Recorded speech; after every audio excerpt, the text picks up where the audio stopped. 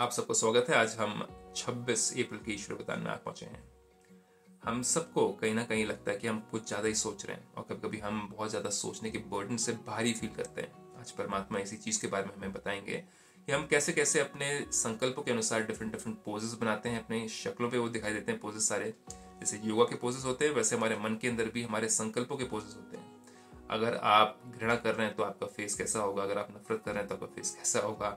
अगर आप ईर्ष्या कर रहे हैं किसी से आपका फेस कैसा होगा? अगर आपको लोभ आ रहा है तो आपका फेस कैसा होगा? अहंकार आ रहा है तो आपका फेस कैसा होगा? सब कुछ फेस पे दिखाई देता है परमात्मा इन्हीं फेस के डिफरेंट डिफरेंट रूपों को, शक्लों के डिफरेंट रूपों को पोजेस कहते हैं। तो परमात्मा कहते हैं आज कि मन को श्रेष्ठ पोजीशन में स्थित कर। अभी पोजीशन कौन सी है? उसको समझेंगे। पोज बदलने के खेल को समाप्त करने वाले सहज योगी भवा।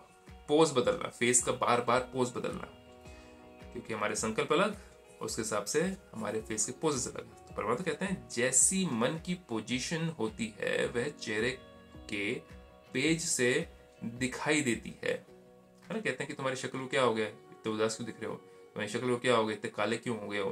क्या देख लिया? भूत देख लिया? किसी ने कुछ गलत देख लिया? किसी की बुराई देख ली? किसी ने तुम्हारे कुछ गलत कह दिया? तो काले हो गए तुम्हारा शक्ल कई बच्चे कभी कभी बोझ उठाकर मोटे बन जाते हैं। परमात्मा फ़िज़िकल मोटे की बात नहीं कर रहे हैं। वैसे देखा जाए तो अगर आप बहुत सारा बोझ अगर उठाएँगे, ये करना है, वो करना है तो आपको स्ट्रेस होने के कारण आप ज़्यादा खाना शुरू कर सकते हैं। या स्ट्रेस होने के कारण आपकी बॉडी ज़्यादा फैट स्टोर करना शुरू कर देती है। और उस कारण भी मोटापा, मन के बोझ का मोटापा शरीर में दिखना शुरू होता है। कभी बहुत सोचने के संस्कार के कारण अंदाज से भी लंबे हो जाते हैं। हमारे जो संकल्प होते हैं, वो इतने लंबे हो जाते हैं, सोचना छोटा है, थोड़ा सोचना है, लेकिन हम एक लाइन लगा देते हैं सोच की। ऐसा हुआ होगा तो ऐसा किया होगा, उसने ये क्यों बोला, उसने ये बोलने का मतलब क्या होगा? अगर उसका ये बोलने का ये मतलब है तो ये हो सकता है, हम एक ही पॉइंट के इतने सारे पहलू निकाल देते हैं और उसका हम बोझ बना लेते हैं। तो स्ट्रेस क्रिएट कर लिया हमने और मोटापा तो इंक्रीज ही होगा।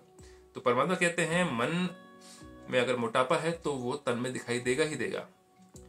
कभी बहुत सोचने के संस्कार के कारण अंदाज से भी लंबे हो जाते हैं और कभी दिल शिकस्त होने के कारण अपने को बहुत छोटा देखते हैं। दिल शिकस्त कैसे होते हैं? कोई सिचुएशन आई, क्रोध कर दिया। क्या करूँ? भगवान मेरे से नहीं हो रहा। परमात्मा मेरे से नहीं हो रहा। बाबा मेरे से नहीं हो रहा। मैं क्रोध के ऊपर जीत नहीं पा जीत नहीं पा रहा हूँ या जीत पा नहीं पा रही हूँ मैं। और कभी अहंकार आ गया, कभी ईर्ष्या आ गई, कभी मैनिपुलेशन कर दिया हमने। ये मेरे को आदत अपनी पसंद नहीं, बिल्कुल। परमात्मा मैं कब होंगी ठीक, कब होऊँगा ठीक मैं? पता नहीं ये मेरे आदतें कब खत्म होंगी मेरे अंदर से। मैं अपने आप को ये दुख दे रहा हूँ, मैं आत्मा, मुझे पता ही नहीं है इस कुछ करके। तो मेरे से नहीं होता। ये आध्यात्म लाइन बड़ी मुश्किल है। और ये क्या हो गया? दिल शिकस्त के संकल्प हमने करने लगे, इसके भी हमने लाइन बना दी, इसका भी हमने भारीपन अपने अंदर बना दिया। जबकि होना कैसा चाहिए देखते हैं आगे।